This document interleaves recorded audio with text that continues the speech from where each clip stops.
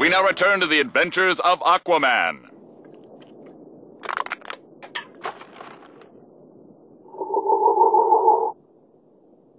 Yeah.